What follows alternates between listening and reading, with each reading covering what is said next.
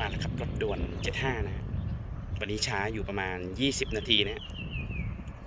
ผ่านบ้านหัน 15 นาฬิกา 14 นาทีนะฮะ